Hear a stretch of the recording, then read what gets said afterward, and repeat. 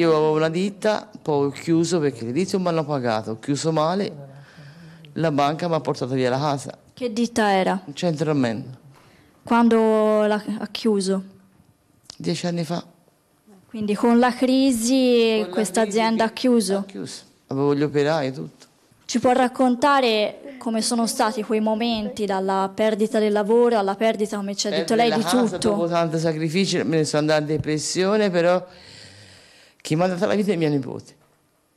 Non c'ho più niente, né casa, né macchine, niente. Non mi posso intestare le macchine perché ho chiuso male, le case non te le danno perché non c'è lavoro, non c'è buste paghe.